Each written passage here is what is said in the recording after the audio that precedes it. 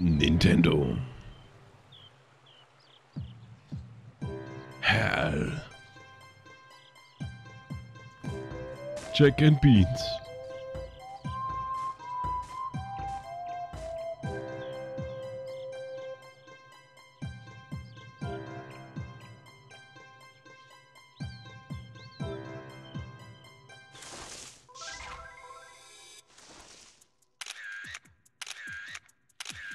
Top-Fotograf.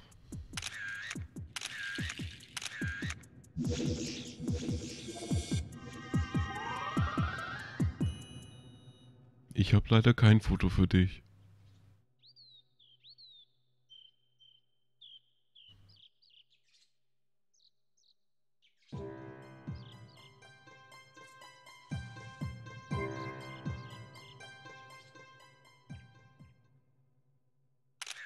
Und damit willkommen zu Pokémon Snap.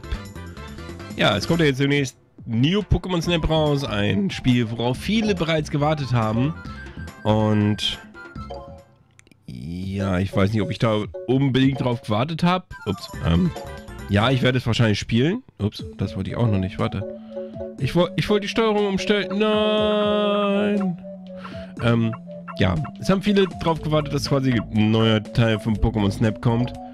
Aber ja, ähm, ja, kommt er jetzt auch endlich nach über 20 Jahren. Ja, das Spiel kam irgendwie um 2000 raus, hier im westlichen Bereich.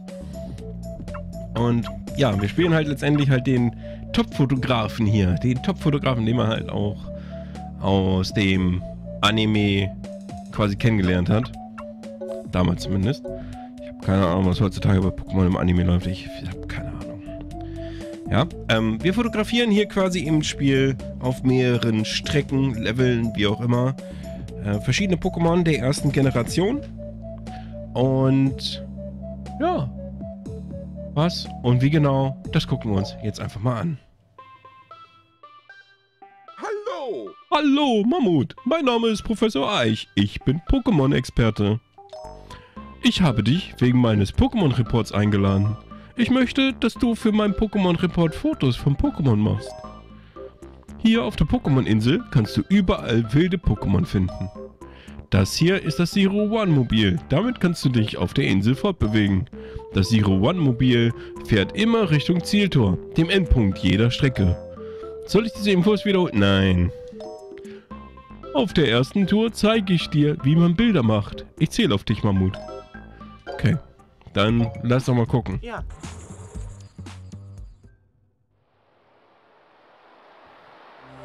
So, das Gefährt fährt immer automatisch, da müssen wir nichts für tun. So.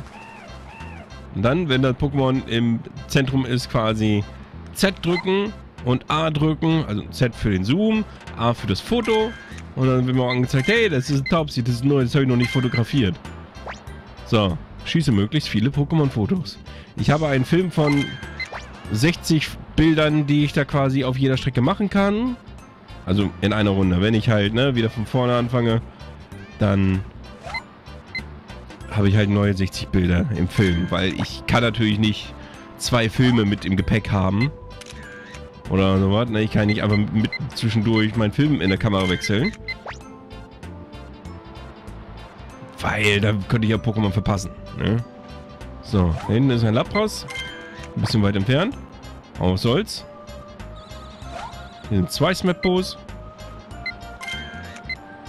Da hinten ist ein schlafendes Relaxo. Das können wir aber so jetzt einfach noch nicht groß fotografieren. Da wird er sagen so, äh, was ist das? Das erkenne ich nicht. Ich bin Professor Eich. Ich bin Pokémon-Experte. Aber das erkenne ich nicht. Weißt du? Ist halt Professor Eich. Der hat seinen Professor auch auf dem Jahrmarkt gekauft. Sein Titel. Tolles Mauzi. Ich konnte ne, in seinen Rachen reingucken. So. Hier vorne. Kommt da gleich hier so ein Mauzi raus. Da ist ein tolles Lapras. Hallo. So, das Mauzi da jagt ein paar Taubsis oder ein Taubsi. Ähm, Im Spiel geht es quasi auch darum, möglichst viele Punkte mit den Fotos dann zu erzielen, worauf wir halt dann gleich kommen. Ähm, mir geht es tatsächlich weniger darum, halt das Maximale an Punkten aus ähm, den Fotos rauszuholen. Sondern halt mehr darum, jedes Pokémon einmal fotografiert zu haben. Sind allerdings auch nicht alle 150 Pokémon vertreten, sondern ich sag mal nur, äh, ich glaube 63 oder sowas. Irgend so eine ganz komische krumme Zahl war das. Einmal Fragezeichen und einmal Evoli. Ein Kangama. Oh, hallo. Schönes Labras-Foto. Besser wird's nicht. So. Okay. Topsy. Hui. Das war Topsys Arsch. Den kann man auch mal fotografieren. Für Gründe. Hier können wir auch ein kaputtes Mauzi fotografieren, weil ne, Pokémon interagieren miteinander. Und je nachdem, in was für eine Situation man manche Pokémon fotografiert, gibt es halt dann aus welchem Grund auch immer besondere Punkte oder so. Ja. So, und jetzt, nachdem wir das Ziel erreicht haben, können wir jetzt erstmal die ganzen Bilder auschecken und gucken, welche kennzeichnen wir für, für Professor Eich und zeigen ihm so, hey, ich habe da so ein tolles Foto gemacht. Hm, ja, gucken Sie doch mal. Geht das bei Germany's Next Pokémon irgendwie auch irgendwie unter Vertrag oder haben wir da leider kein Foto? So. Hier haben wir dieses Miauzen Mozi. Hier haben wir das äh, Evoli. Ein Smetbo. Ein Lapras. Obwohl, nee, warte. Haben wir doch noch ein anderes. Hatten wir doch gerade noch eins gemacht hier. Da, das hier. Das ist schön groß. Ne, Professor Eich ist es wichtig, dass das Pokémon immer zentriert ist und so. Nehmen wir das hier. So, okay. Und dann auf zu Professor Eich. Zeigen wir ihm die Fotos. Hm, was gibt's Neues? Lass mich mal sehen. Das ist Dodo. Wie groß ist die Abbildung? 380 Punkte. Hm, es ist ganz okay. Wie sieht die Pose aus? 200 Punkte. Hm, es ist ganz okay. Kommen wir zur Technik. Gut, das Pokémon ist in der Mitte des Bildes. Ich verdopple deine Punktzahl. Wunderbar. Wunderbar. Dein Bild ist tadellos. Mach weiter so. Naja, geht. Pikachu. Lass mich mal sehen. Das ist ein Pikachu. Gut gemacht, Professor Eich. So, das Ganze können wir ein bisschen schneller machen. Pose, gut gemacht, sehr hübsch. Ähm, ist wieder in der Mitte des Bildes, gibt doppelte Punkte. Mozi. Hm, ist ganz okay. 1000 Punkte, gut gemacht, sehr hübsch. Oh, dafür gab's tolle Punkte. Mein bisher bestes Foto. Ein Smetbo. Das Metbier. So. Er sagt halt letztendlich immer dasselbe. Evoli. Ja. Wenn es halt zu klein ist oder nicht zentriert ist, dann bricht er auch die Punkte hier quasi ab und sagt dann so, ja, beim nächsten Mal muss er besser gemacht werden. So, da gibt es einen Bonus, weil mehrere Pokémon halt drauf waren. Oder mehrere der gleichen Art. Du Pose, weil wegen Rücken. Hätte ich jetzt eigentlich halt ne, mal durchklingen sollen. So, Topsy ist groß. 10 Punkte. Hm, das ist nicht so gut. Ja, aber ein schöner Rücken muss nicht unbedingt entzücken. Das ist kein Rücken, was Sie da sehen, Professor. Das nennt man Bauch. Warte. Okay. Warte, Mammut. Wir gehen zurück ins Labor. Ich habe die Bilder gesehen, die du gemacht hast, Mammut. Sie sind jetzt im Pokémon-Report gespeichert. Wenn du mehr Pokémon-Fotos gemacht hast, werde ich dir weiterhelfen. Viel Erfolg, Mammut. Übrigens, du kannst ab sofort den Pokémon-Report einsehen. Pokémon-Report. Da wird mir gezeigt, ne? Äh, wie viele Pokémon ich habe, wie die Punktzahl aktuell aussieht, mein bestes Foto. Ist das von Mauzi, was ich gesagt habe. So, und im Pokémon-Report kann ich halt nochmal genauer angucken, ne, welche Pokémon ich habe und wie viele Punkte ich dafür gekriegt habe. Und so weiter. Habe ich eigentlich nie groß nachreingeguckt in das Ding. So, Strecke wählen. Mammut, du kannst nun die nächste Strecke erforschen. Den Tunnel. In diesem dunklen Tunnel war früher ein Kraftwerk. Dort gibt es viel zu entdecken. Was stand hier? Ein sonniger Strand. Großartig. Hier kann man bestimmt tolle Fotos schießen. Ja, wir haben auch teilweise to tolle Fotos geschossen. Jetzt aber erstmal zum Tunnel. So. Fängt an mit einem Pikachu. Wenn wir es fotografieren, läuft es weg. Und dann setzt es sich hier auf den Elektroball. Was dann nochmal extra Punkte gibt. So. Ein Elektroball beim Explodieren. So, Electek läuft hinter dem Ball her. Äh, Ball. Ball. Ein Kukuna. So, das Gepiepe ist halt dann immer, wenn... Ja. Die... Ähm, der, der Fokus quasi auf dem Pokémon liegt. Ich bin schon halb konzentriert hier. Ist ja der Wahnsinn. So. Hier aus der Tür kommt gleich ein Zubat, deswegen bereithalten. Foto, Foto, Foto, Foto, Foto. Ja. Hier ist noch so ein komisches Pikachu und ein komisches Ei, mit dem wir jetzt aktuell nichts machen können. Aber wir haben da an der Wand einen Hinweis. Äh, Blitze, äh, Noten, äh... Was bist du? Ich weiß, was du bist.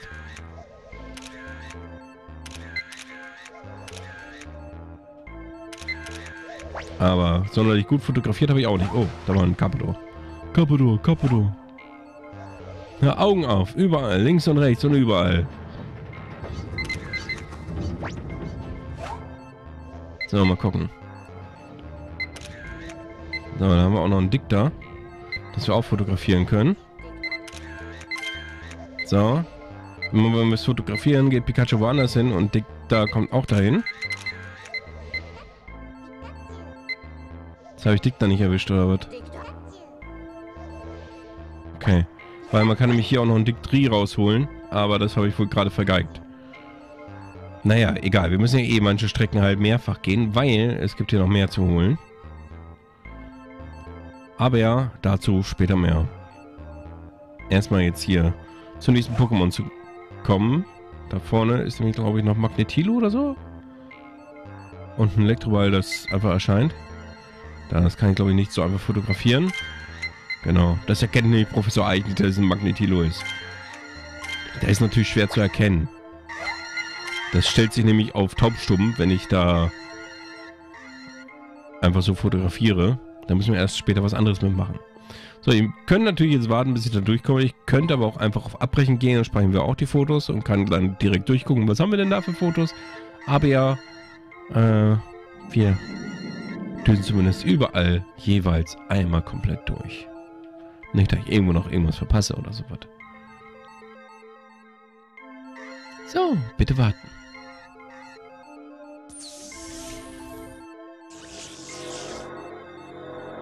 Wir sind der Langsamste. Und da rollen wir ins Ziel. Tor, Tor, Tor für Pokémon. Ich habe keine Ahnung. Es wurden diverse Bilder gemacht. Mit Albummarkt kann ich meine Lieblingsbilder im Album speichern. Das ist ja toll. So, hier. Pikachu auf Elektroball. Äh, Elektroball beim Explodieren. Äh, Electric Put. Ähm, hier ein tolles Zubat. Das ist wenigstens zentriert. Hinten sieht man das Apollo. Halt, da war noch ein Kokuna. Zack. Ähm, hier Apollo. Ist ein bisschen zentriert. Geht natürlich besser, aber was willst du machen? Hier ist ein Big Da. Ein ganz kleines. So, das war's auch schon, was ich machen kann. Zu Professor Eich. Ja. Hm, was gibt's Neues? Wow. Ist das nicht Pikachu auf einem Ball? Nein, es ist Pikachu auf einem Elektroball. Pikachu auf einem Ball gibt schon mal pro forma mehr Punkte. So, und automatisch wurde es ein besseres Foto als das andere. So, Elektroball. Wie groß ist die Abbildung? Ja, ist okay. Pose. Oh, es explodiert. Oh, das ist ja toll. Oh, es steht selbst. Oh, es ist am Suizid. Oh, krass. Oh, das sind extra Punkte. So. Und es sind weitere Elektroballs im Bild. Ach, da hinten in der Ecke. Das habe ich gar nicht gesehen. Wunderbar. So. Lass mich sehen. Das ist Elektrik. Wie groß ist die Abbildung? Ach, 40. Wie sieht die Pose aus? Eine Explosion. Wow. Professor Eich mag Explosionen. So. Ein Kokuna. Hm, ist okay. Technik, jo, ist in der Mitte, wird schon. Zubat. Es ist sehr hübsch in der Pose, ich weiß ja nicht. Halt Zubat. Ist halt jetzt nicht very special, ne? Apollo.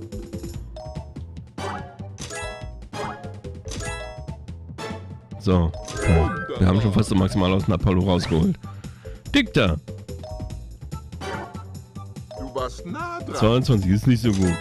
Das Pet sollte größer sein. So, Warte. warte Mammut, wir gehen zurück ins Labor.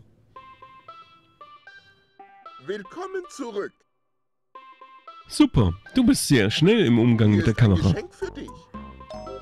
Es ist sehr nützlich, wenn du Pokémon fotografieren willst. Möchtest du den Pokémon näher kommen?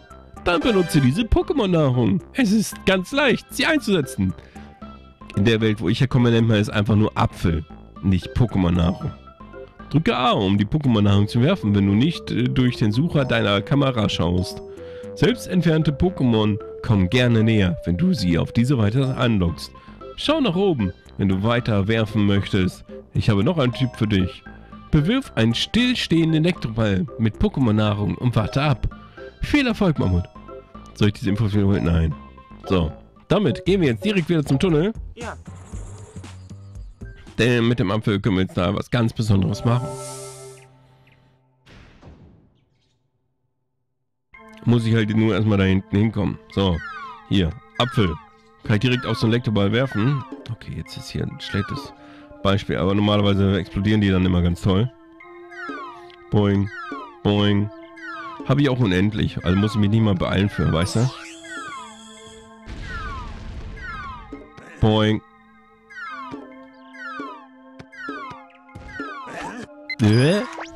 Das ist ein tolles Elektrikfoto. Das, das zeige ich Professor einmal sehen, was er sagt. Okay, vielleicht nehme ich auch das. Weil es größer ist. Boing. Ja, damit kann ich Pokémon auch dazu bringen, dass sie mich anhalten. Ist total töfte.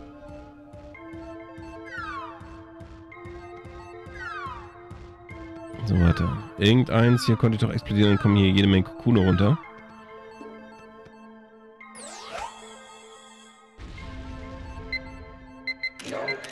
So, okay. Hätte man besser machen können, aber hey.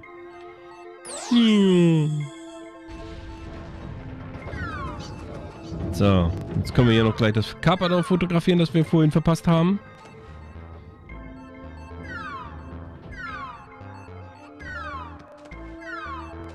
Bitte warten.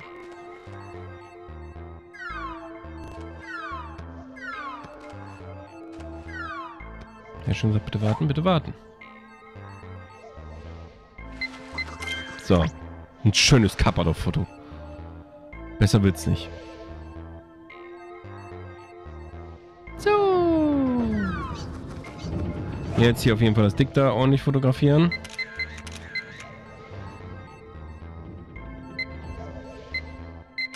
Nochmal. Das bewegt sich weiter. Und da kommt noch so ein Dick da. So. Und jetzt ist ein Dick 3.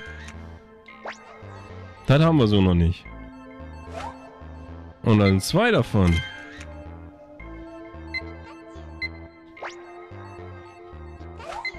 Da sind noch mehr.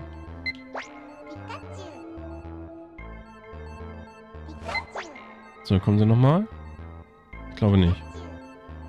Okay. So. Können wir hier das Magnetilo auch füttern. Und dann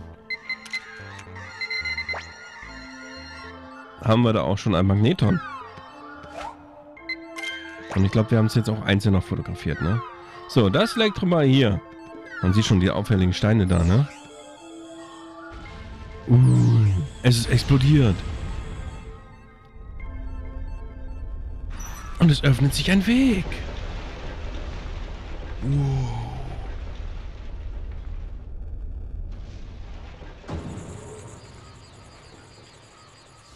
So. Damit haben wir ein neues Level freigeschaltet. Aber zuerst müssen wir mal wieder Bilder aussortieren. Hier, komm, wir zeigen ihm das. das ist ein tolles Elektrik-Bild. So. Hier sind Kokunas drauf. Es gibt ein paar mehr Punkte als das andere. Hier im Carpador. Apollo. Okay, ja. Gut, ist nicht zentriert, aber hey. So. Äh, Dicta. Nehmen wir mal das Foto. Ich hätte natürlich warten können, bis ich näher dran bin, aber hey. So. Das ist natürlich auch ganz toll. Ist richtig schön groß. Es sind auch mehrere drauf. Da hat der Magnetilo nicht genommen. Das gibt's doch nicht. So, nehmen wir mal Magneton. So, und dann zu Professor Eich. Ja. Das heißt, wir müssen durch den Tunnel auf jeden Fall nochmal. Ist aber auch nicht schlimm. Wir müssen da wirklich nochmal hin. So, das ist eine tolle Größe. Mhm. Ja, dann bleiben wir beim alten Bild. Manchmal gibt's dran. wirklich, ne? Also von der Größe her haben wir mehr Punkte und dann meckert er so, ja, du warst nah dran. Ne, wegen der Größe sagt er so, ja, mm, nee, finde ich nicht gut. Wegen der Größe. Wobei es beim letzten Mal schlechter war. Das sind manchmal so Dinge, wo man sich denkt so, äh, Warte. Äh, es wäre besser, wenn das Pokémon genau in der Mitte des Bildes wäre. Ja, sag ich doch. Dachte mir so, ich habe aber eins. Ja, nehmen wir mal. Du Noch schlechter als das andere. Krass. So, Dickdreh. Du warst nah dran. Ich war nah dran, aber das Pokémon sollte auf dem Bild besser sichtbar sein. Aber wir haben's. So, Wunderbar. okay. Warte. Warte, Mammut. Gehen wir zurück ins Labor.